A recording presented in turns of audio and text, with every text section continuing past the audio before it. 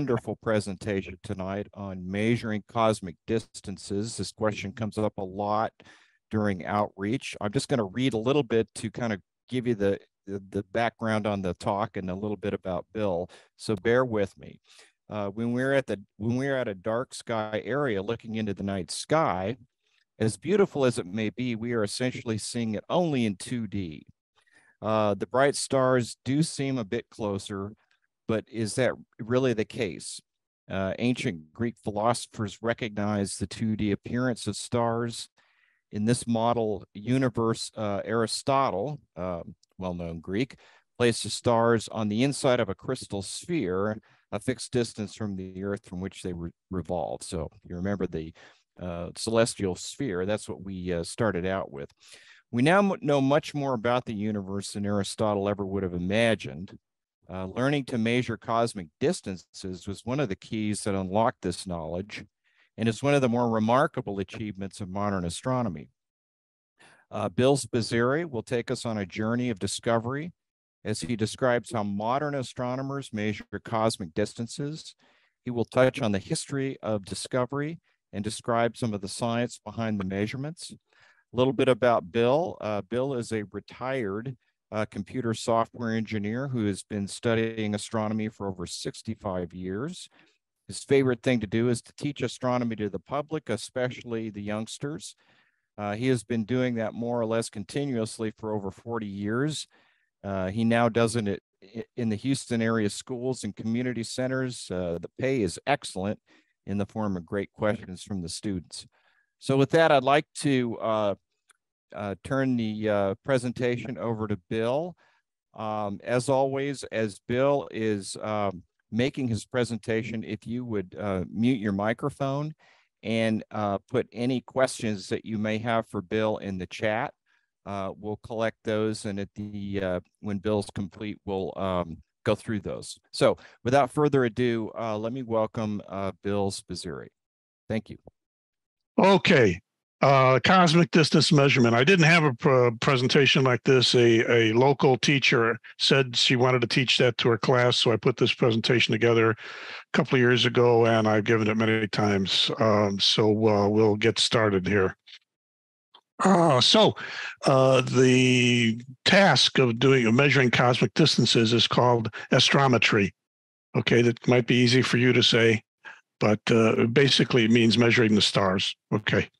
So um, uh, on that subject, you know, going back, as was mentioned a minute ago, 1000 BC, all the way up until the 1800s, it was thought that all the stars were at the same distance.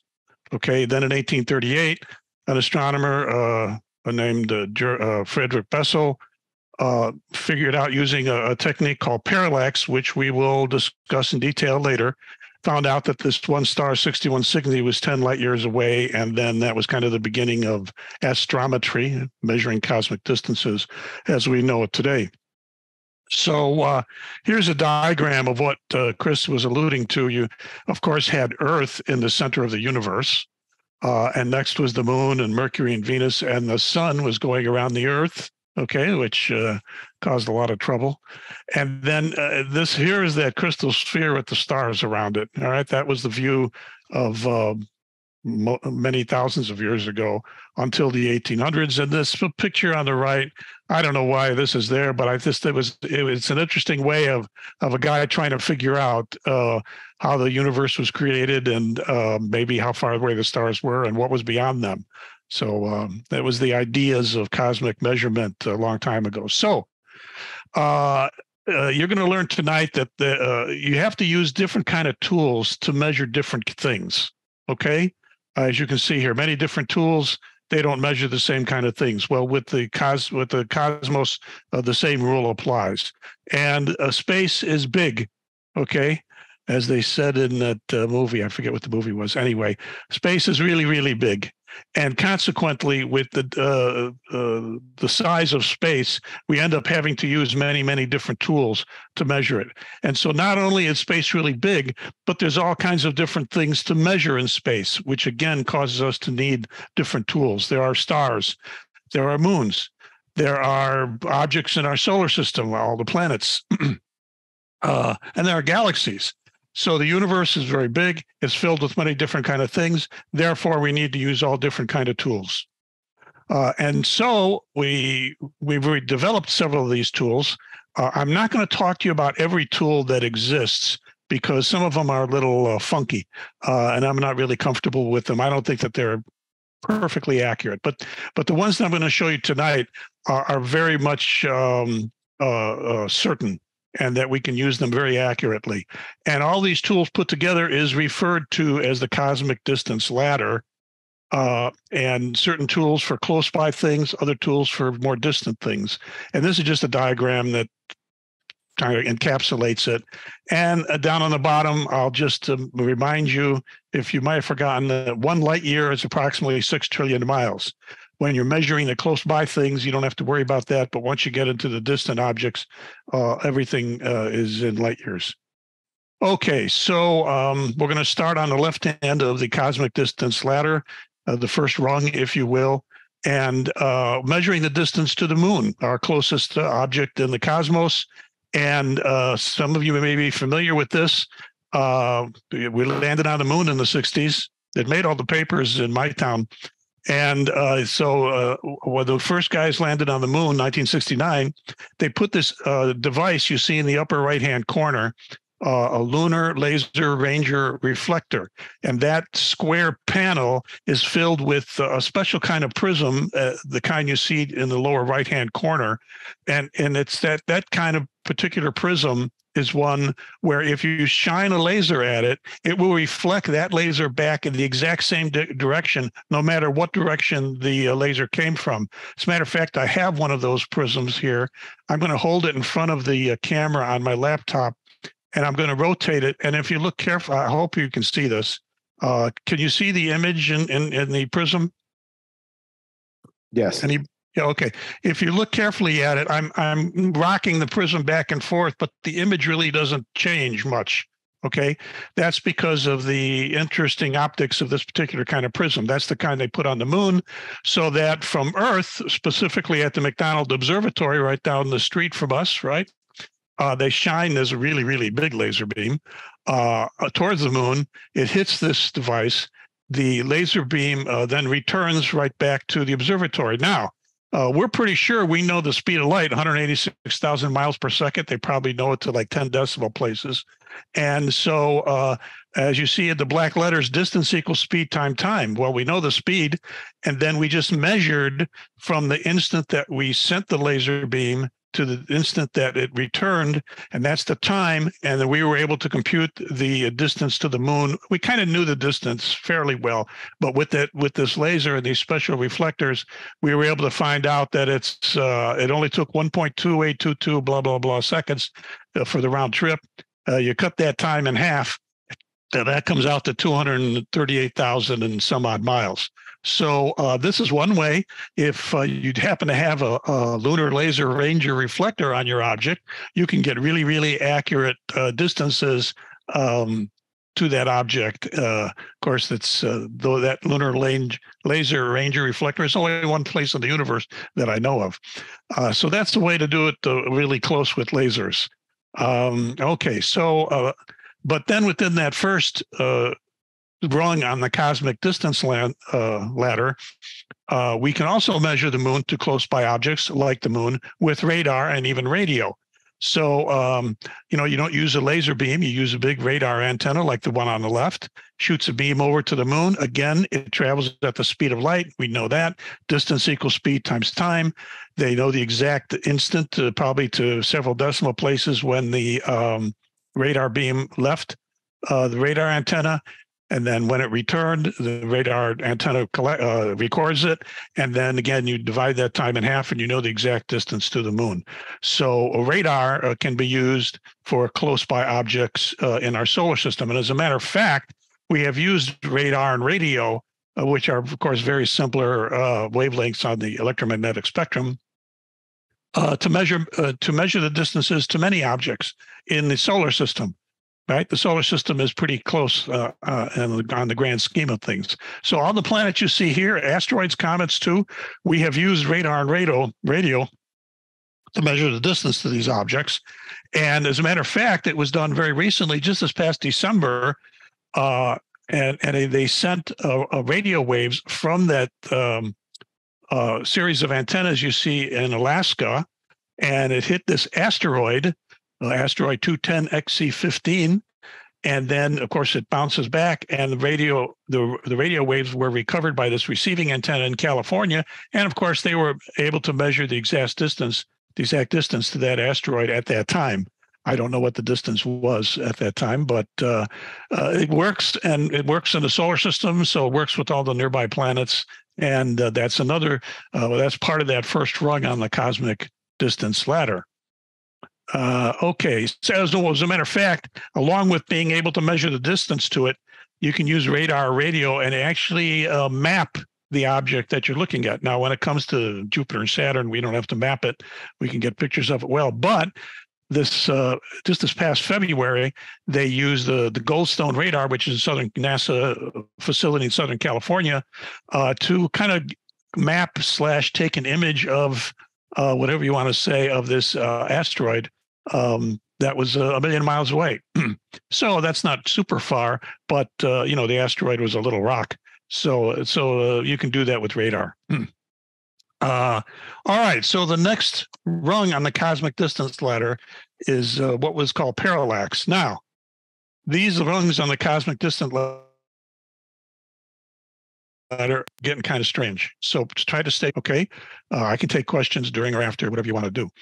Uh, it's called parallax. And in this image, you get the general idea of parallax. You have two people just a few feet from each other, and they're looking at this tree that's uh, fairly close and they're looking at the top of the tree and the man on the right with the blue shirt sees the, the mountain on the left behind the top of the tree and the man on the right and the and on the left in the white shirt sees the other mountain the mountain on the right behind the top of the tree. Well you know they're both right uh, so to speak. They see a different view uh, comparing the the tree in the foreground and the mountains in the background. They see a different view because there is a distance between them and it's it's just a matter of geometry.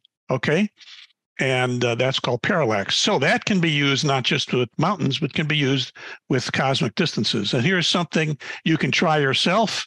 Uh, don't do it while you're driving, but uh, this person, you you uh, just hold your uh, arm straight out and your thumb up as it shows in the picture, and you don't move the thumb, but you just open one of your eyes. Let's say if your left eye is open and your right eye is shut, okay, you'll see your thumb close to the stop sign. And if you reverse it, in other words, open your right eye and close your left eye, you'll see your thumb moves much further away. I can't believe I'm doing that right now. Uh, you can't see it, and I don't need to do that, but I just, uh, out of habit, I'm doing it. But anyway, um, uh, and so this is similar to the guys on the tree in the mountain. And this also shows, shows that you can do it yourself. You can see how it works. And why do you get two different views? Because of the uh, distance, what is it, four inches between your two eyes or thereabouts? I'm not exactly sure. Um, and that short distance between your two eyes is enough to give you this effect. Now, if you do your geometry uh, and your measurements just right here, you could measure the distance to that stop sign if you know the distance between your eyes and how far away the thumb is from you. You could literally use X concept to measure the distance to that stop sign. So that's what we do with the cosmic distances. So fasten your seatbelts. Here's how this works. so you have the sun here, the yellow thing, and the earth is the blue thing going in an orbit around the sun. Okay. And then uh, you see the arrow pointing to the red foreground star. This takes the place of the tree in the first diagram. And then, of course, on the right, there are many, many other distant stars that are much, much further. Okay. So you want to know the distance to the foreground star. So you're going to use parallax. Now, the Earth orbit, you know, the Earth's 93 million miles away from the sun. So uh, the, the diameter of the orbit, oh, by the way, can you see my cursor moving here? We can. Okay, so the diameter of the Earth is twice 93 million miles, 186 uh, million miles.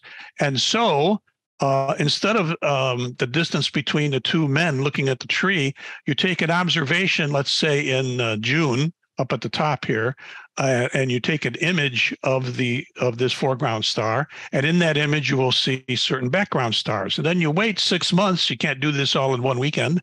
You wait six months, until the Earth goes around the other side of the sun. So it's 186 million miles away from the June location, and you and you take a, an image of the same foreground stars.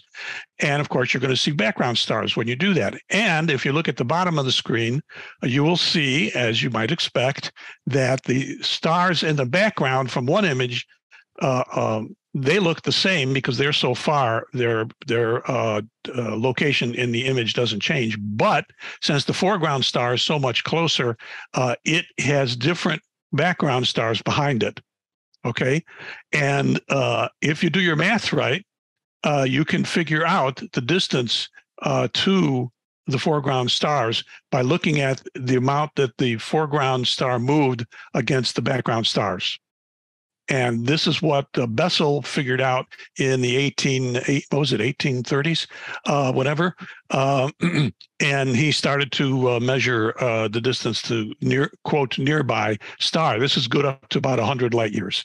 Okay. Now, um, how good you can do you do this technique depends on well the size of your baseline and in our case here 186 million miles.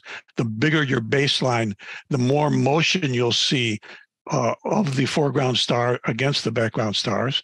And also how powerful how uh, what kind of resolution you have in your telescope and your cameras okay uh, because sometimes this the amount of, uh, of motion that you have of the foreground stars against the background is very small and if you have very high resolution telescopes and cameras you can uh, see this effect better okay? And and you could measure the distance to foreground stars that are further all right. On the lower left, you can see there was a Hipparcos satellite was doing this. It could see up to 650 light years away. Uh, Hubble, um, uh, because it has a very good telescope and a very good cameras, 16,000 light years away. The Gaia spacecraft, which I will mention towards the end of the presentation, 30,000 light years away. So this is a technique that has been used since the 1800s uh, works very well. It's very precise. We're we're putting it in our spacecraft so that we can uh, do this process here. Um, let's see. Is that uh, oh and and oh so uh, so what? You take the picture. You see the the foreground. The uh, the foreground star moved in relation to the background stars. So uh, you you look at the angle, the the amount that the foreground star moved between your two images, in this case June and December. You measure that angle that uh, how it changed in the two images, and you do the math on the left. The distance in parsecs, I'll explain that in a minute, is equal to one over that angle divided by two. No, I'm not going to do that now.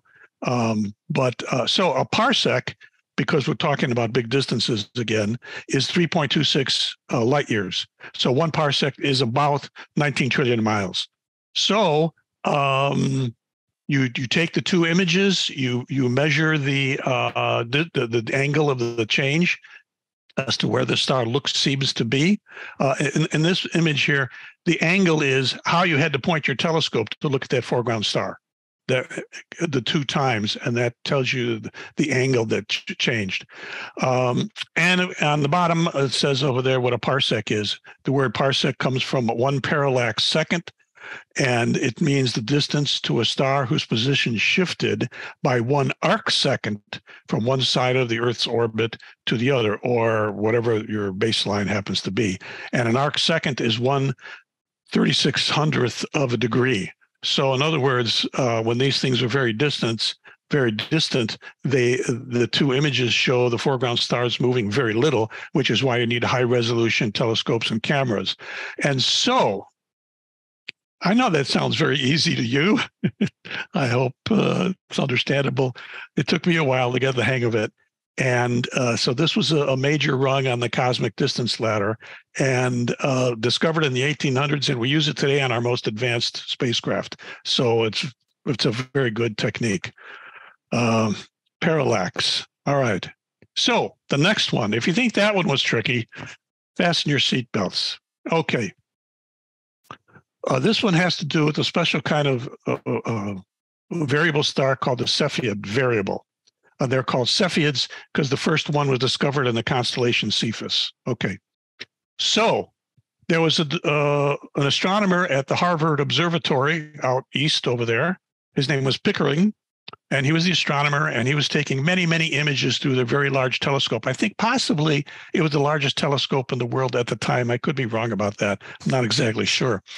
And uh, yeah, anyway, uh, so he was taking the images, but uh, he would take all these images. They were on glass plates, of course, back then. And then he had a couple of ladies one of them was the lady you see on the right, Henrietta Leavitt, and and her job, as well as the other people at the observatory, were to look at the uh, images and to measure precisely the brightness of the stars and their physical location also by the way and uh, so they would take the same pictures of the same piece of the sky over and over and over again and so uh, most stars, of course, will have the same brightness this week as they will next week and next month. And uh, that's the way stars normally are. But they were able to see that, that some stars change in their brightness. They get brighter and they get dimmer. And and God bless her. Henrietta Leavitt was a very careful uh, technician, observer, whatever you want to uh, name it. And she was really recording the brightnesses of these stars very carefully uh, very consistently, and uh, she did a very, and and she really paid attention. Okay, so all the stars that they were looking at at one point in time were in uh, the Magellanic Cloud, which uh, they didn't know what that was at the time. Oh, by the way, let me give you a little uh, preface here. Back at this time, early 1900s, they thought the Milky Way was the whole universe. Okay, now they saw these things called spiral nebulae in the Milky Way, which they thought were in the Milky Way, which we know are galaxies. But uh, so they were taking images uh, of all kinds of stuff. The Magellanic Cloud is a small galaxy. They thought it was part of the Milky Way, and they were taking pictures of all these stars in the Magellanic Clouds.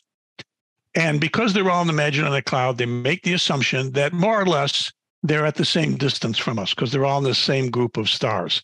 And so any difference in the apparent brightness must be due to their actual brightness at any given time. All right.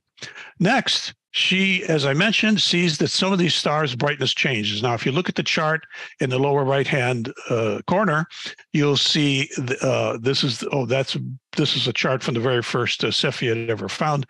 Uh, you will see that uh, the brightness goes up and goes down over a number of days, and how bright it gets at the peak and at the and at the valley is always the same. So you can see this uh, chart is very regular. Okay.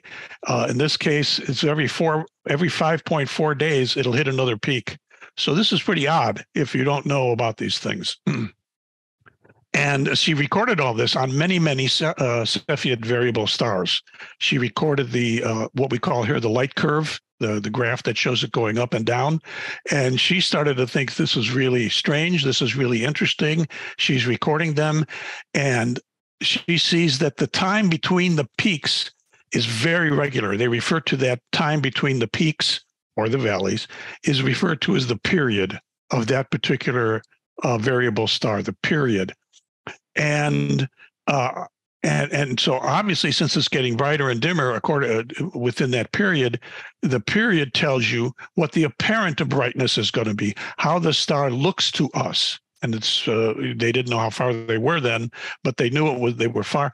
But uh, so the she saw that there was a relationship between the period and the apparent brightness. That was one of her uh, genius discoveries. Okay, uh, now uh, nearby Cepheids uh, have an actual. Well, all Cepheids have an actual brightness, right? Uh, but for, if they're nearby, they could be measured with parallax, and um, uh, and so we know uh, we know what their actual brightness is. So then we can relate the period to the actual brightness. Okay. And when you, you draw this chart, you look in the lower left hand corner, she discovered that the relationship of the period, the time between the peaks, and its actual brightness is a straight line. There was, okay. So that means, I'm getting out of breath here. That means that if you know the period, you know how bright that star really is. And if you know how bright something really is, and you see how bright it looks to you, Then you do the simple equation called the inverse square law, which I'm not going to attempt right now. And you can see how far away it is. All right. Comparing the actual brightness to the apparent brightness.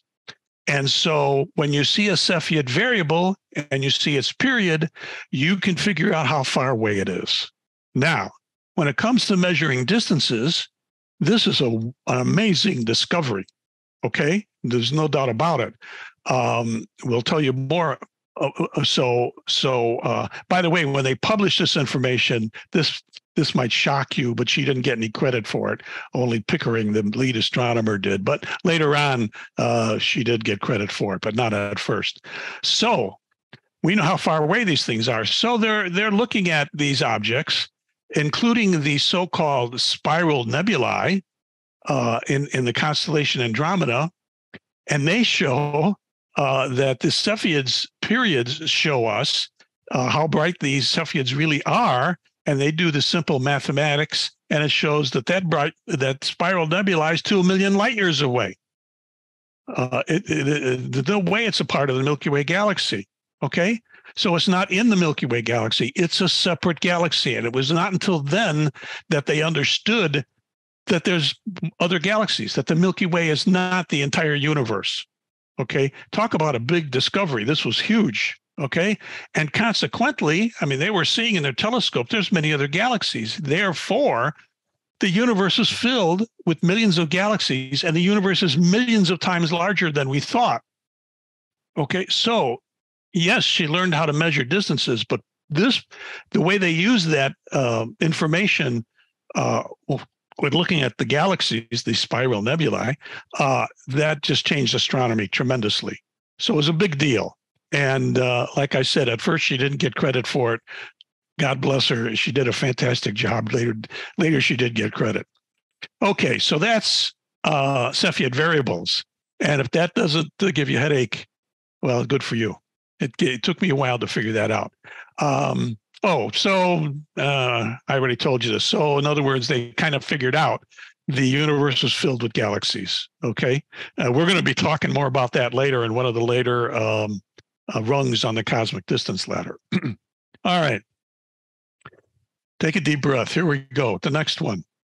The next, we first have to define a term called a standard candle. What that means is, as you can kind of see in the picture, imagine this uh, lamp at the top of the picture has a 100 watt bulb. We know exactly how bright that is. We know its its actual brightness. Okay. And as you can see, there's three other lamps there. Some are closer, some are further. And the further one, of course, doesn't look as bright. It has a, a, different apparent brightness, a different from the actual brightness. And then you use that same equation, the inverse square law. And if you know the brightness of the close one, you can then use the inverse square law to tell you uh, how far away the the dimmer one is, the one with the dimmer apparent brightness. Okay. And so the close by bulb, if you will, is a standard candle that you can use whenever you see the same kind of bulb out in the uh, on the street or in the universe. Okay, that's the concept of the standard candle. Right, you have a standard, you can use it to uh, measure distances. So we go to the next rung on the cosmic distance ladder, and that's called uh, a type 1a supernovas, which are exploding stars. You see our standard candle of the light bulbs on the left. Okay, the diagram on the right shows you what a type 1a supernova is. First, item number one there in the left hand corner, uh, it, it, it, these occur only when there's two stars in a binary uh, configuration. In other words, two stars that are gravitationally bound to each other. They're in an orbit, uh, one orbits together. And one of the stars, the, the white one, is a white dwarf a very, very small star. And the one on the left is, oh, maybe like our sun, let's say, uh, a more conventional star, not a white dwarf. And then you go to the right to, to step number two. The uh, star like our sun reaches the end of its life because it runs out of fuel. Uh, as often happens, it expands very large, becomes the red giant star. And the material, and consequently, it's still in the binary uh, orbit with the white dwarf. But since it's uh, much, much larger and the outer material on that red giant star is more loosely bound gravitationally to the star because it's so much further from the star, and the gravity of the white dwarf, which is very dense, which has a very powerful gravitational field, starts to pull, as you see in the lower left hand corner in step number three, it starts to pull material away from the red giant towards the white dwarf. And that material becomes part of the white dwarf. And that means that the total mass of the white dwarf is increasing. And as it turns out, in step number four, when that mass of that white dwarf star hits exactly, well, more or less exactly 1.4 times the mass of our sun, again, this white dwarf is maybe the size of the Earth, give give or take, but but when its mass hits 1.4 times the mass of a sun, um, it explodes in a supernova explosion. And um, since it always happens when the mass is at 1.4 times the mass of the sun, the amount of energy in the explosion is always the same, which means the expo- the uh, supernova is always the same brightness, as it states there. Uh, they are typically a, a, minus 19 absolute magnitude, if you understand magnitudes. Um, but the point is, they're always the same brightness. So if we know how bright a type 1a supernova is in reality, because they're always the same brightness, then we look at how bright it looks to us. We look at what its apparent brightness is.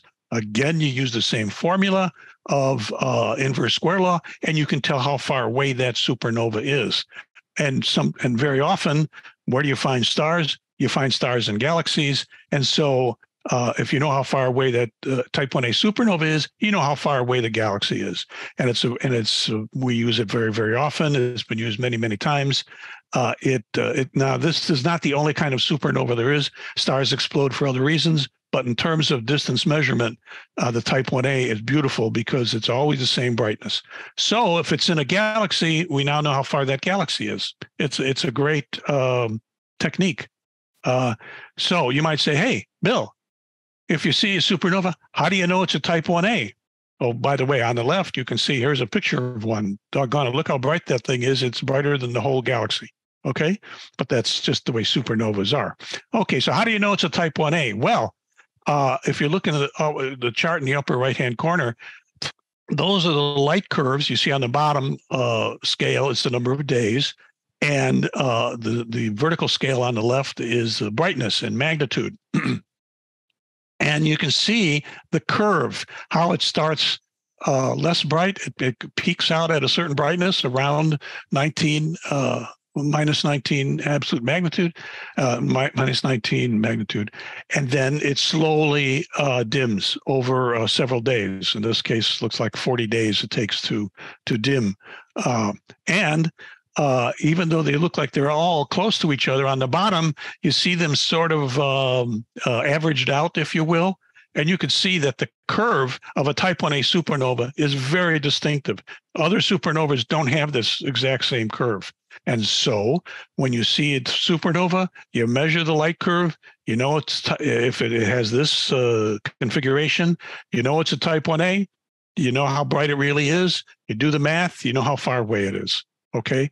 Uh, an awful lot of people made an awful lot of observations over the last, I don't know how many decades to uh, put this all together. And it's an extremely, um, it's an extremely usable technique for measuring distances. Type 1A supernovas. Okay. So uh, I can't believe this is going by so fast. The next and last of the rungs on the cosmic distance ladder that we will be discussing is, uh, discussing is called redshift. And as you can see in the purple letters there, this is something that you can use beyond a billion light years. As a matter of fact, we use this to as far as we can see an object in the observable universe. It's great technique. So here's the deal. A star or a galaxy puts out light, all right? And if you look at it with a telescope, and the telescope has a spectroscope, uh, a kind of a prism. Uh, it will uh, in your spectroscope, it'll show you the the rainbow of colors you see on the right, uh, right? Uh, all the different wavelengths of light that are coming from that light source, and uh, it has specific patterns of these black lines within the spectrum, and each of those, each each element in the uh, the surface of that star or in the aggregate stars of that galaxy has its own pattern of lines, right? And as a matter of fact, oh, oh, and uh, we'll, you'll see in a minute. For instance, each element has its own pattern. There's a pattern of lines for iron, a pattern for hydrogen, a pattern for sodium, etc. So you can see in the spectrum um, which elements are in that star or galaxy. All right. The other thing that we know is, uh, and this is where the word redshift comes in, that if an, a bright object is moving away from you, as in the top diagram, uh, the light going from that object to you, to the observer, uh, has its wavelength stretched uh, because toward the red end of the spectrum. Okay. If the object is moving toward you, as it shows on the bottom, the wavelengths of light coming from that object will see will be compressed toward uh, will be moved towards the blue end of the spectrum because they're being compressed. Uh, the red at the top, they will uh, look to be moving towards the red end of the spectrum because the the waves are being stretched out. The ones moving toward us uh, look move to the blue end of the spectrum because they're being compressed. Okay, and that's where the word red shift comes from. It's moving away. The light is moved towards the red. So, after all that, uh, that guy you see over there, Edwin Hubble, uh, he was pretty good. They named a telescope after him. Uh, he was uh, looking at lots of galaxies. He had a very large telescope in the United States. And um, uh, so he looks in these galaxies. He knows all about Cepheid variables. He uses Cepheid variables to measure the distance to galaxies. So he knows how far away they are. Of course, now he knows, you know, because they already found out they're not in Milky Way. They're separate galaxies. He takes spectrums of these galaxies. So as you can see the pictures on the left, you can see uh, how you get all the different uh, pattern of lines uh, for the various elements. You can see that pattern at the top. All of those black lines indicate hydrogen in the atmosphere of that star, or uh, magnesium, or iron on the bottom. All right. And when you see those lines, you know that that element is in the, the uh, atmosphere, if you will, of the star or that galaxy. And then he found out that when he looks at some of the galaxies, the lines weren't where they should be. They were virtually always shifted to the red. Get it? Red shift to the red end of the spectrum, as you see in the diagram on the bottom. Uh, now, and then since he was looking at lots of galaxies, he found out that the further a galaxy was, and he knew how far they were because of the Cepheid variables, that the further the galaxy was, the more the lines were shifted.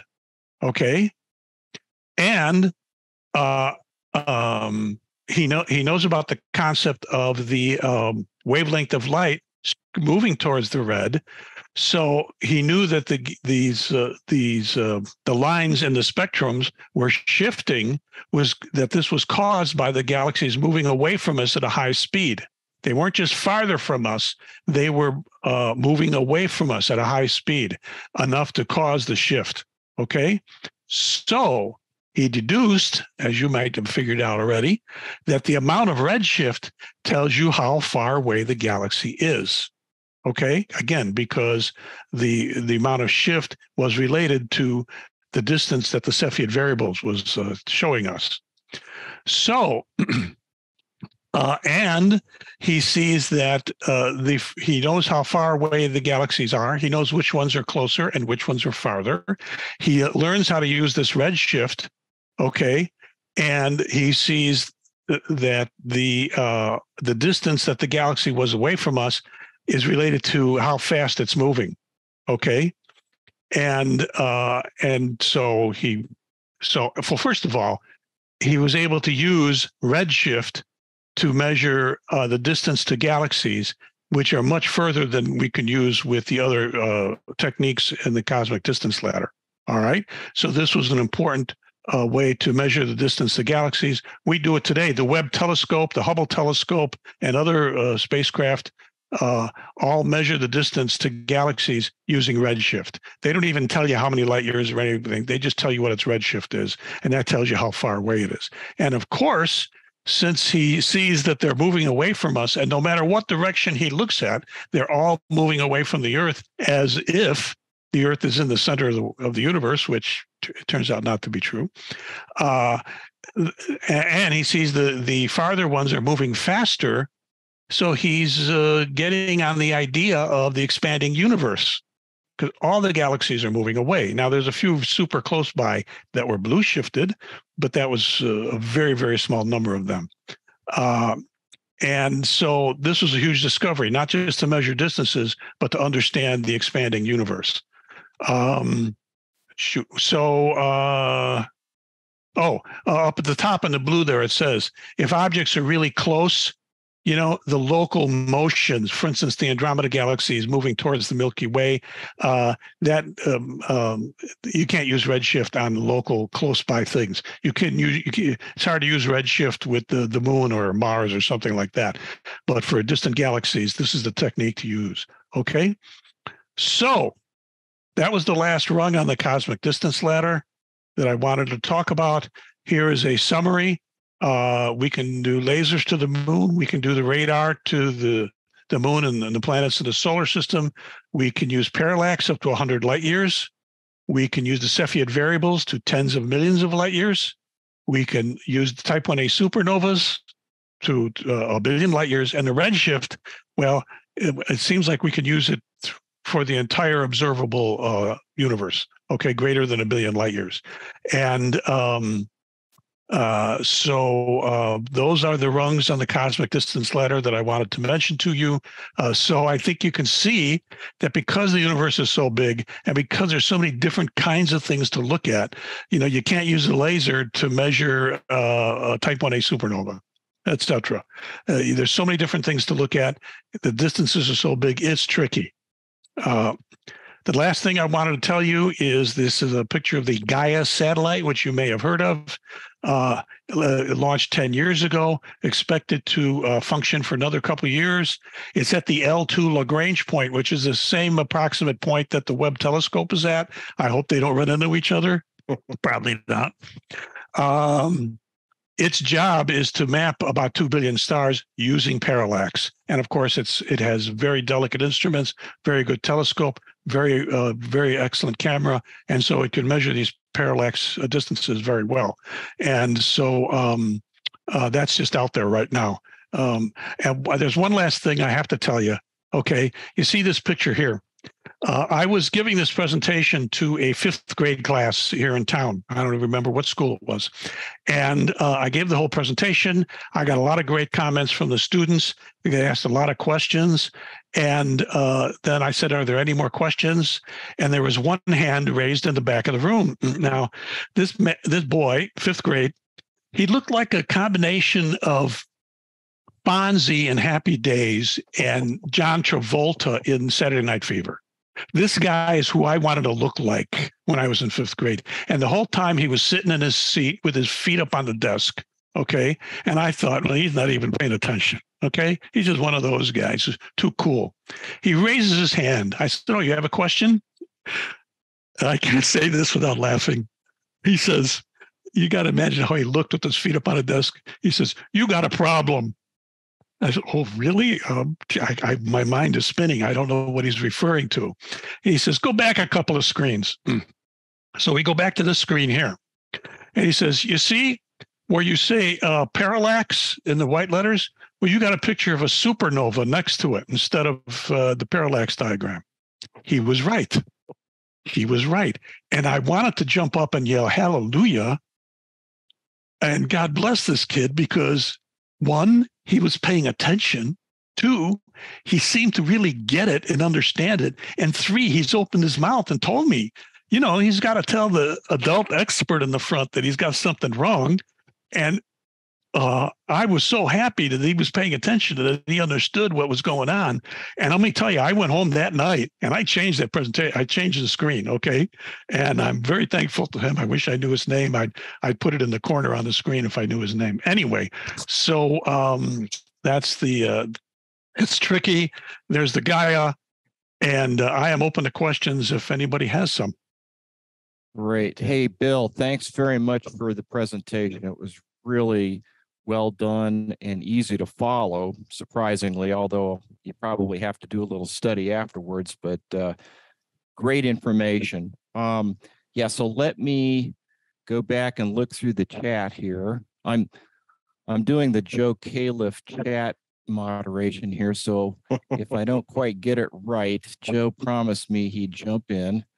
Uh, I think our first question is from Scott Carnley. Uh, Scott, if you would come off mute and ask your question.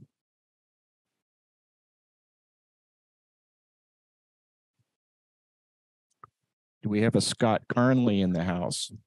Yes, yes. it's- Can you hear me? Yep, can hear you. Yes, can hear you. Um, so I know the James Webb Telescope is able to do red light. Is the Hubble telescope uh, able to do that as well? Well, you just said the magic word red light. Uh, anything that we call red is what we call light in the visible spectrum. Okay. The Hubble telescope's primary wavelength is the visible spectrum. It can do a little bit in the ultraviolet, which is in, you know, towards the uh, shorter wavelength, and it can do a little bit in the infrared towards the longer wavelength. But its main task is to use visible light. Now, uh, so can it see red light? Absolutely. Now, the Webb is very, very different. It is focused, no pun intended, towards the infrared light because, as we mentioned a little while ago, we know the universe is expanding. And galaxies put out lots of visible light in the visible part of the spectrum. But because of the redshift, if you remember how the wavelength changes when something's moving away from you, the light the, the light that we're getting from those super super distant galaxies that the Webb is now getting famous for is all been shifted into infrared. If you could only see visible light, you wouldn't even see them. Okay. And they knew that when they designed the Webb I don't know, 25 years ago or whatever. Um, they knew that because of the uh, expansion of the universe, it's all the distant stuff, which is what Webb is supposed to be finding for us, is going to be in the infrared. You got to have somebody who can see the infrared very well. And so, does the Webb see red light? Eh, not really. If you see pictures from the the Webb and you see some of the galaxies look red, uh, I hope the the big shots aren't listening, but that's phony. Okay, what they do, what they do is they it's all infrared. We can't see it. If they showed you an infrared picture, you'd see nothing. So they look at the wavelength of the light and the stuff that's more towards the red end of the spectrum, they color it red. And the stuff that's closer to the blue end of the spectrum, it's maybe still in infrared. Yeah, it's it is still in infrared, but when it's shorter wavelength infrared, they tend to color it bluish so that we look at it. When we look at it, it kind of makes sense. Now, the scientists know what the real wavelengths are. They know what the redshift of those objects are, so they know how far they are, as we already discussed. But do they see red? Not as such. Uh, Webb sees infrared, Hubble sees visible, and never the twain shall meet.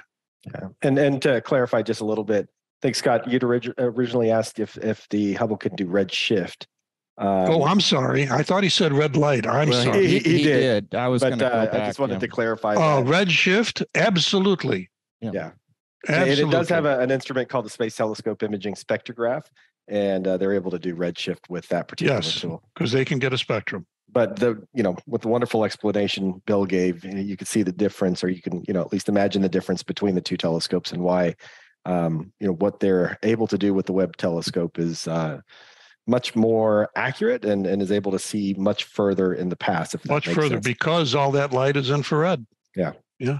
And I showed you one of my many talents. I'm very, very good at giving answers to questions that weren't asked, but I tried my best. Yeah. All Thank right. you, guys. All right, great. Certainly. Uh, the next uh, person with a question is uh, Ray Brogdon. Ray, if you're on, would you please come off uh, mute and ask your question? Hey, Bill, uh, I'm a new member and, you know, all this is new to me, but, you know, we, we talk about all these things, you know, thousands, hundreds or millions of light years away. You know, at those distances, you know, if it took that long for light to get here, you know, I guess the question is, I guess it's just a guess, but you know, does that object even exist anymore? yeah. Well- has anybody else asked that question?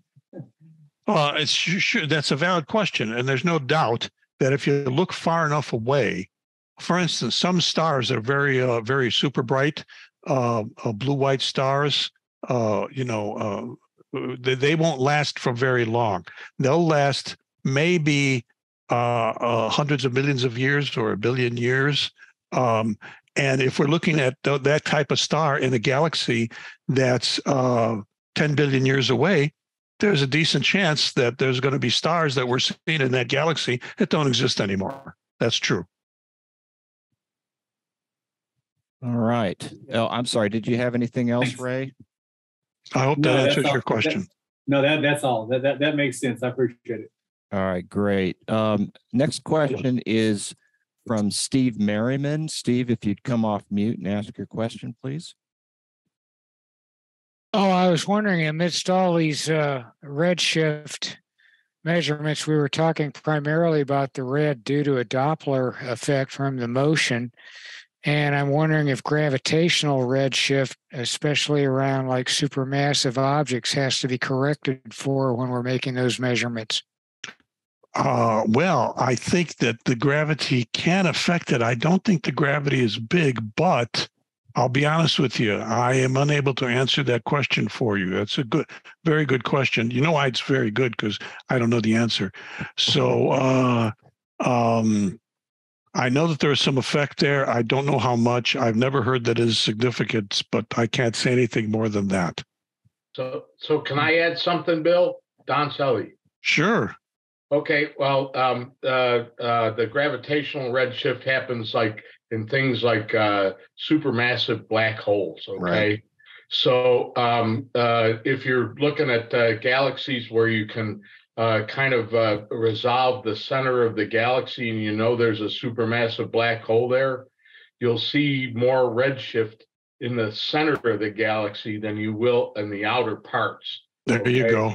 and that's a gravitational effect. So, yeah, I mean, they can, uh, uh, uh, uh, is, our astronomers with the good instruments can measure that.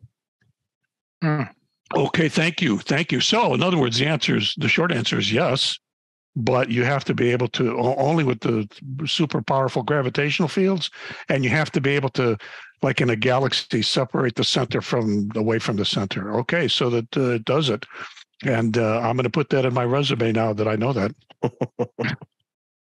Okay, uh, is, did that answer your question, Scott? Or Steve, excuse me? Oh, yeah, We're good? yeah. Okay, And al- al- also put in your resume that you got a student to ask a question. That's a, Oh, you that's a, know that's it, a man. yeah. that- that's that a is- real milestone. Well, he wasn't the only one who asked a question that time, but Okay. uh, it was just his technique that was so terrific. Okay. Um, I just gonna- I just spent a semester teaching uh, probably the most apathetic group of uh, dual credit uh, high school students taking a junior Oh, college course I've ever seen. But uh, I feel I, anyway, f- I feel your pain. All right. Okay, listen, let me open this up to the floor. If anybody's got any questions, uh, come off mute and ask your question of Bill. I got plenty of time as long as I'm in bed by midnight. Uh, and while we're waiting, Bill, I've got a question for you. My understanding was that um, the ancients, the Greeks, et cetera, were able to make um, measurements of the distance from Earth to the moon. It, is that correct in your understanding? And if so, did they use parallax in order to make that measurement? Uh, as far as I know, parallax was absolutely positively not understood before the 1800s. Okay. Okay. However, I, you know, they were able to predict lunar eclipses and solar eclipses are too, I think. Uh, and when I say they, I'm not exactly sure how far back that goes, but I, I'm pretty sure that the classical Greeks could do lunar eclipses. And possibly, let me think. It, it was No. using eclipses, Bill. Uh, what- possibly what- they could use that to measure the distance, but I'll be honest Yeah. with you, I don't know how. I think they were they were timing how long the the shadow of the Earth um, lasted on the surface or at least the, the visible surface of the moon. Yeah. Okay. The, the, the classical way, um, uh, uh, and I, and I forget who, whi- which one it was, is one of the mathematic guys. But, uh, he knew that distance between two cities in Egypt.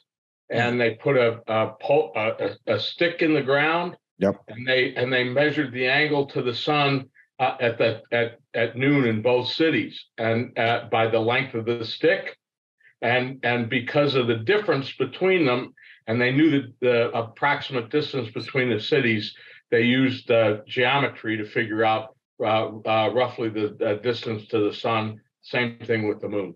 I, I thought they used that technique to measure the uh, uh, the size of the Earth, the Size of the diameter of the Earth. Well, But I uh, didn't know they could uh, use it to measure the distances. yeah, that it was. It, they flipped it around because they had measured the distance between the two uh, cities. Yes, yes. Okay. I think Okay. that was. Aristarchus. Uh, Aristarchus, thank you. It was you. That Aristarchus, the yep. Mathematical guy I was thinking of. All right. Okay. Okay, listen, um, again, I'm going to open it up to the floor. Uh, so if you've got a question, come off mute and ask your question. Hey, I was kind of wondering, uh, back in the uh, Henrietta Leavitt day, uh, what instrumentation were they using to measure luminosity? Oh, you're going to love this. This is a, a it's a very powerful tool. It's called eyeballs. They they just see that's one of her superpowers was to be able to accurately uh, to differentiate the brightness of one from another and Yeah. exactly how different the brightness was. And she recorded them. So she was just very good at her job, doggone it. And uh, and, and uh, they had no special uh, technology other than that to do it. Okay. Anybody else? I We have did, one we last did have question. a question. Uh, I'm sorry, I was going to say, we did have a question in the uh, chat from Scott Carnley. Yes. Um, has any of these methods been used to discover exoplanets?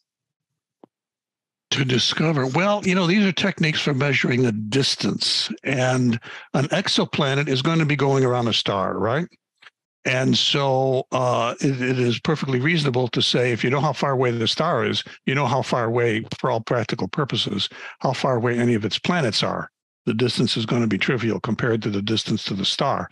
And as we've already discussed we have several techniques for figuring out how far away the star is. So if you know the star is uh, 500 light years away well that's what that's how far away you say the planet the exoplanet is too because you know we can't see exoplanets unless they're around stars and so I, I, I guess the question was like discovering new exoplanets. I guess if you know how far a star is away and you see its light diminish um, or its luminosity, yes does that mean does that mean an exoplanet's there?